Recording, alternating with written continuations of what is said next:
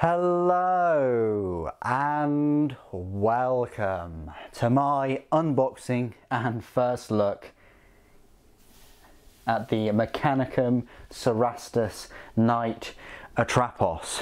What a mouthful. One of these Cerastus Knights will set you back a whopping £194, which is £99 more expensive than a normal Imperial Knight or £94 more expensive than the than the Knight Castellan.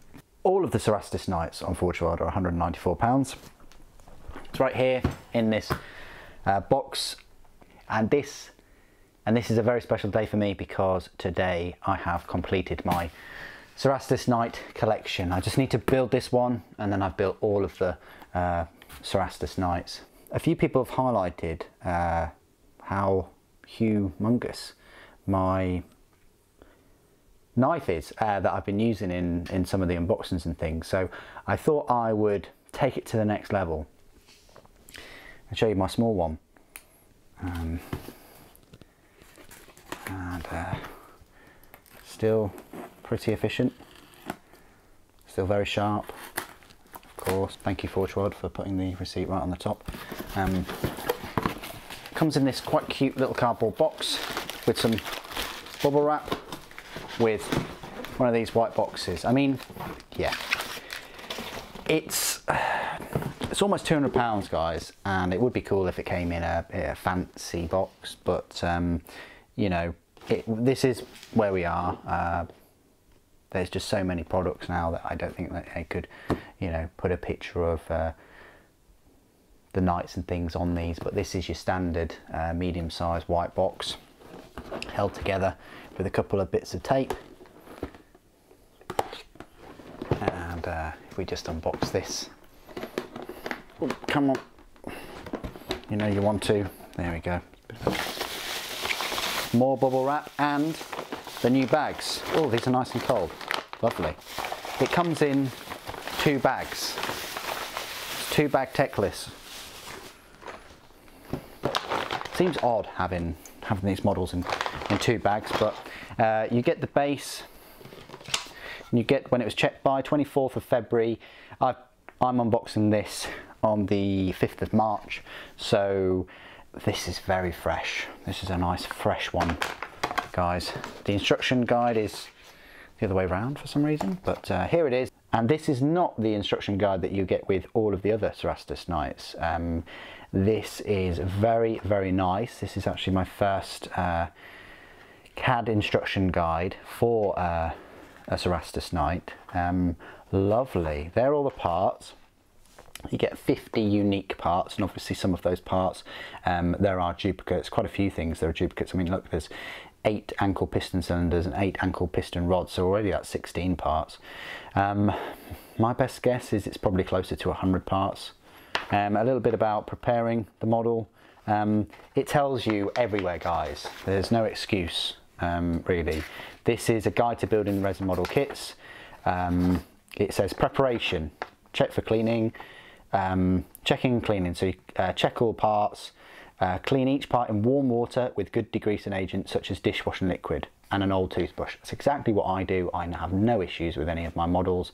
Um, there are some pieces where the uh, releasing agent has kind of become one with the resin. That's very rare. But if that happens and you're sure that that's happened uh, after you've um, washed it, send Forge World a, an image, send Forge World a picture, and uh, they usually be, are able to um, investigate and send you a replacement part. But then casting the gates, the mould line's very important, shims, warp parts, and then assembly. Look, green stuff everywhere. You know, this this is part of this is part and parcel. This is nothing new. This isn't a surprise if you're working with resin or these kits. Um, the tolerances are good, but remember, these aren't machine made. These are made in molds and they're like handmade almost. Each part has to be taken out of the molds by a, by a human being. Um, anyway, uh, this is uh, how you um, build it. It's just fantastic seeing this um, together on, on this CAD instruction guide because the other knights, all of my other three knights did not have these instruction manuals. They just had the quite old um, black and white A4 pages. But yeah, this is how you put it together. straightforward if ever you built one of these knights before. There's the uh, Graviton Singularity Cannon plates, weapon support pistons, and the uh, neck and the head. And there you go. Um, looks like you get a couple of banners. That's nice. Uh, I might go, you get two optional banners. Cool, right. So anyway, that's the instruction guide, that's the base, that's the box. Let's have a look at uh, the parts themselves. So this is a, an interesting bag right here. These are the new bags, by the way. Uh, you'll know that they're new because they've got this, uh, this writing and then it's all blocked there, which is, well, it sucks really. I would have preferred if it didn't have the white background. I get, I get why they do it so that you can read it, but you could probably still read it if it was just black on transparent. And uh, it means that as spare parts bags, which is what I use mine for, they're not as good maybe, or maybe they are because you can sort of see the parts against that white back backdrop. Maybe it's easier. I don't know, but I use them for that. Uh, so this is the first bag. This is obviously one of the legs. Let's have a juicy uh, look at these, these and the detail. Lovely rivets. Uh, I don't know what it is with the Forge World kits recently, but um, you know, like some of the Titan weapons I've ordered uh, have just been fantastic with the amount of detail. Oh, lovely rivets there. I say lovely rivets, it's going to take me ages to paint them, isn't it? Let's face it. Um, the shin armour, nice rivets there.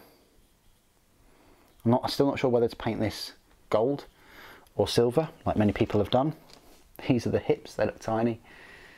Um, maybe it's because I've been holding Warlord hips for a while another armor piece. Uh, this is one of the uh, the banners. Let's have a look. It's cool that you get two banners. I really like that. You get a uh, thin one and a thick one. That's pretty nice. Wish I'd have known because I probably would have put this one on the other knights. Um, I might I might still put it on a Mechanicus knight. Uh, another one of the the legs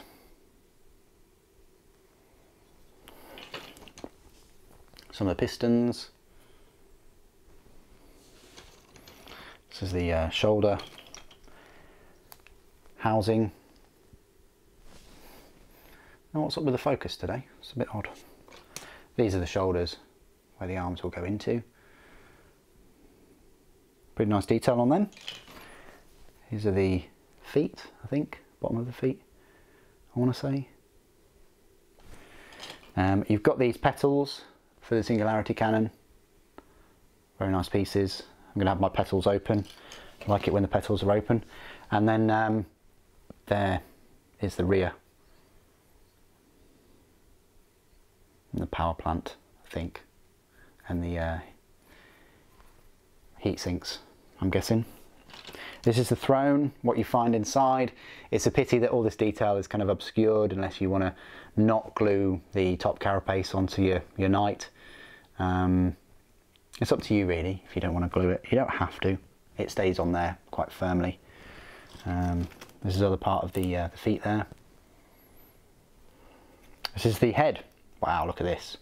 Obviously it looks a bit, oh, there we go. It's that way. Wow, all one piece. Plenty of detail in there, plenty of lenses. I do like this head.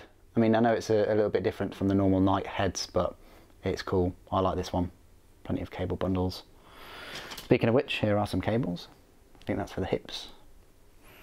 Um, more, more legs. And these are the lower legs. Going down to the ankles. Um, I'm guessing this is to do with the weapon. These are the arm mounts, put the weapons into, or connect them to. And then here are all the toes. Um, same parts, just uh, replicated I think they are numbered the same as well, number 32 for all of those toes. Um, so that's uh, the first bag.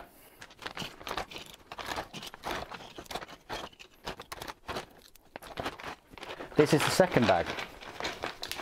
So I'm hoping there's some weapons in here. And there certainly is.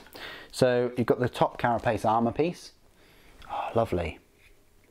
Loads of de oh, so many rivets. In fact, too many rivets, one may say.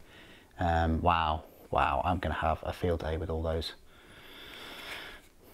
Really nice piece though. There's a little bit of slippage there and a little bit on the edge there. That is repairable. Uh, but nothing on the front, so that's good. Here's one of the weapons, look at that.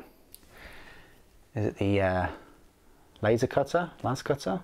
It's a bit bent there. I'm not sure whether that's part of it. I don't think it is, so maybe I have to unbend that.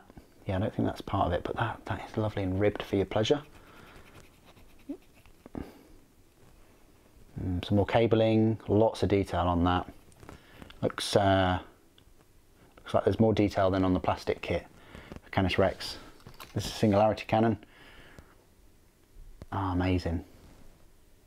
Going to be great painting those uh, energy bundles, those energy converters.